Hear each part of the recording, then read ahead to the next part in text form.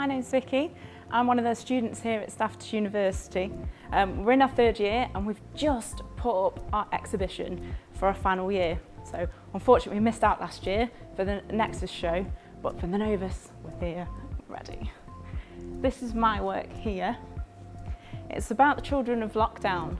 So it was a study that was made um, just looking into the mental health and other issues and how the children are feeling throughout the lockdown situation.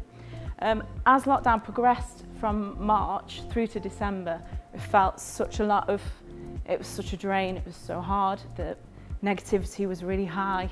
Um, we were running out of things to do and things to entertain the children with. So it made it really difficult then um, to kind of see the positive in things. Um, my study was to bring out and just to document that, that feeling, that confinement that um, we had through the lockdown. And it wasn't just the adults. The adults can pick up a phone and speak to somebody. Children can't do that. They were completely com confined. They couldn't communicate with their friends anymore. Homeschooling was getting harder and harder. So that is what this project to me was about.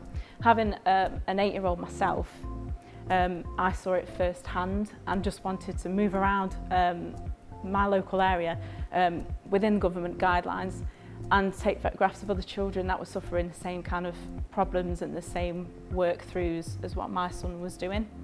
Um, and these are my three final images that I've chose to use for my degree show.